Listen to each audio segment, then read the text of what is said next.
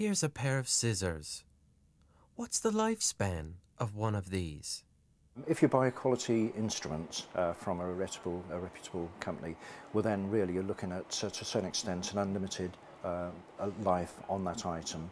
Um, with good uh, care, um, looking after it, regular maintenance, sending off for sharpening, various things like this, well then it's not uncommon to have items or instruments in the um, supply chain for 20, 25 years.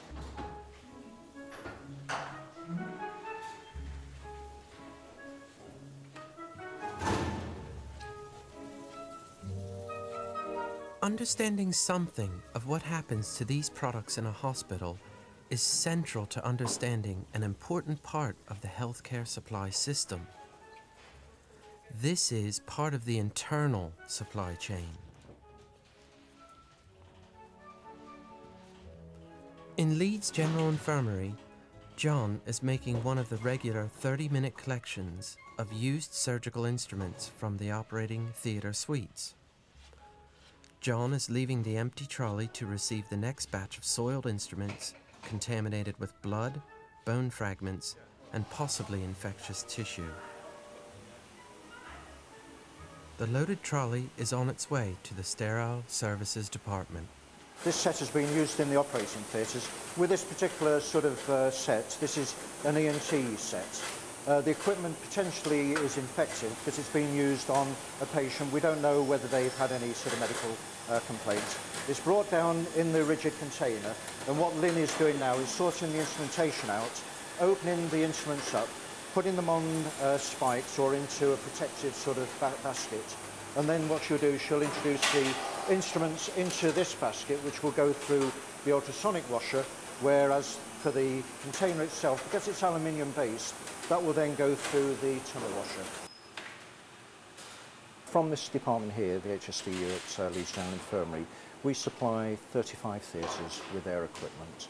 Uh, if you're looking at it on a sort of a monthly sort of scale, we're looking at something like about six and a half thousand um, theatre trays, probably something like 35,000 individual instruments for the dental um, hospital, uh, 13,000 linen packs and probably about uh, 25,000 uh, single items which could be for the theatres or for the wards.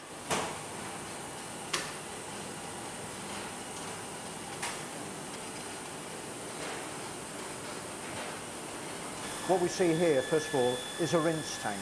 What we have is the instruments going in there. They're contaminated with gross contamination, blood, tissue, various uh, sort of products like that. Water at a tepid temperature, probably about 45 degrees centigrade, is being sprayed on them. That will get rid of the gross contamination that's on the equipment.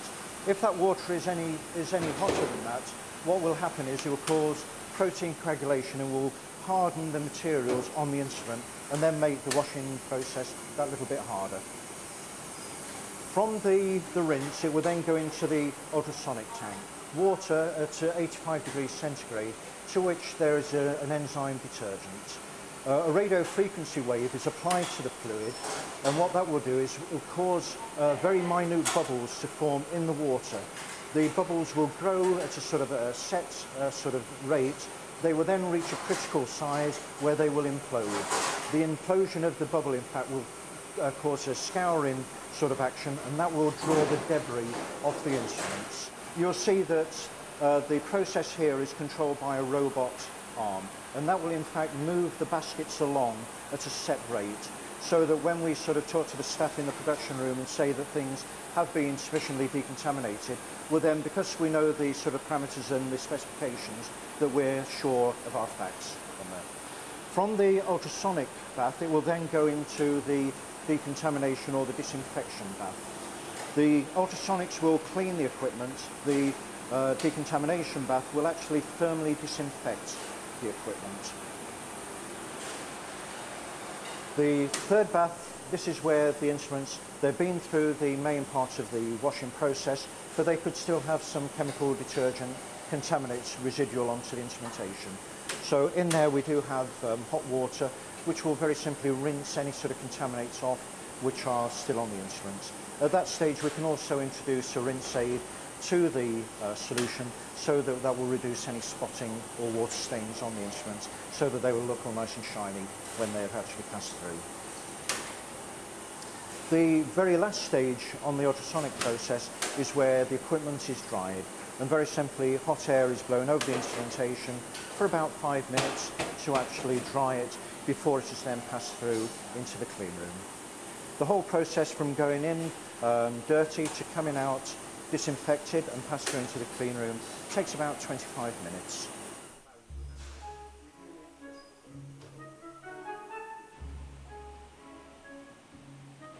Tracking the consignment is part of the quality system. If there's a problem, the hospital can trace when and on exactly which machine the batch was decontaminated. The next stage is carried out in a clean room, so clean that even the camera crew had to scrub up and wear gowns.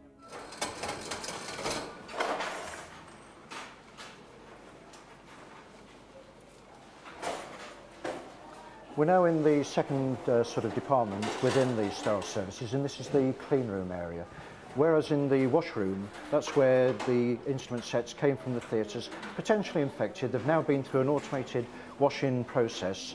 And because we know the various temperatures and the various sort of times that the instruments were in that sort of part of the cycle, well then we know that when they come in here, they're safe to handle by the staff because they've been thermally disinfected.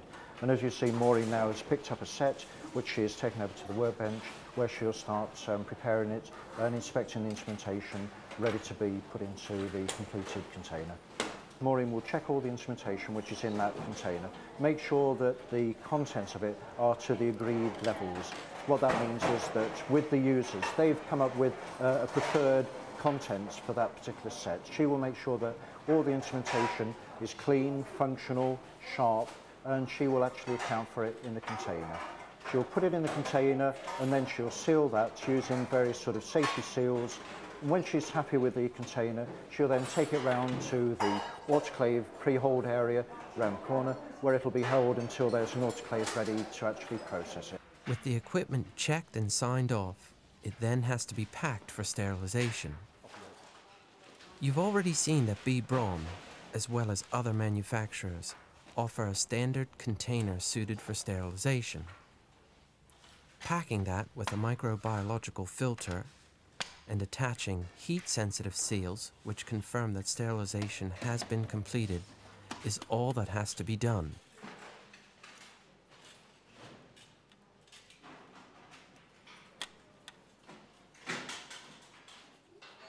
To see what an advantage that is, contrast it with what has to be done to a non-packaged load. The outer layer is porous paper, it's there so that subsequent handling during transit doesn't affect the contents. The blue fabric is to contain any sharp corners or edges that could damage the integrity of the package. Double wrapping in green and blue porous paper follows a standard hospital procedure. The paperwork travels inside the wrapped parcel as well.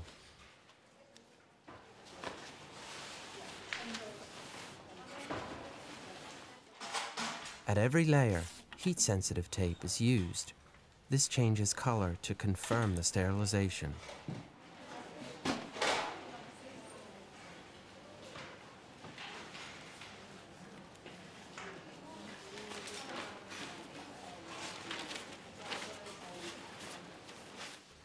Only now, labeled and wrapped, can the package continue to the next stage. The barcodes are still tracking the package. Eventually, one of these labels will be attached to the patient's notes.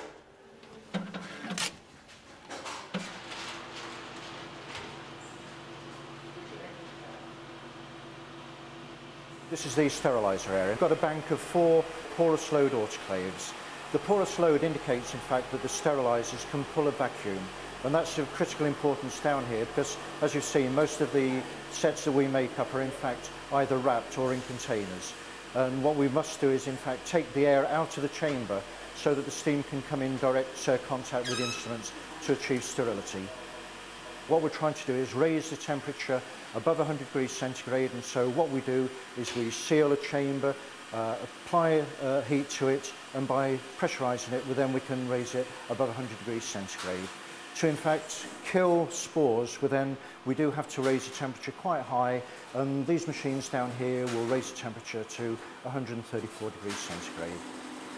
134 degrees centigrade for three and a half minutes, providing you've got air extraction, is sufficient to kill the bacteria that might be on any of the products that are going through the autoclaves. The whole process takes probably about 35 minutes from going in unsterile to actually coming out, shall we say, sterile and ready to use. Only now can the load, sterilised and ready for use, be taken off to the holding area outside the theatres. As a further sterile precaution, it's a separate transfer, quite distinct from the collection of the used instruments. This care is one example of how the healthcare supply chain differs from sectors where human life is not the critical factor. One important tool of value engineering is the elimination of waste and duplication. If you work closely with your suppliers and can trust them, you can save on inward inspection, relying on the supplier to have done the job for you. Even in the best circumstances, that can't be relied on in healthcare. Like a lot of trusts, we actually um, hire equipment uh, to come into the trust so that it can be used for one-off operations. Um, because we don't really know where this equipment has been previously used, we don't know what the state of it is, um, irrespective of what the, shall we say, the company says or the representative says, or in the case of a hospital owner's equipment, we treat everything suspect. So even if you come to me and say this is sterile, this is clean, whatever, well then we'll say yes and we'll still in fact process it through the normal sort of run. So it'll go through the washing machines, it'll still be rechecked um, in the packing room and it'll still go through the sterilizer uh, for use by the clinician before uh, we allow anything else to go on. Decontamination and sterilization units are only a small part of the total healthcare supply chain. In the next section, we'll take a broader view.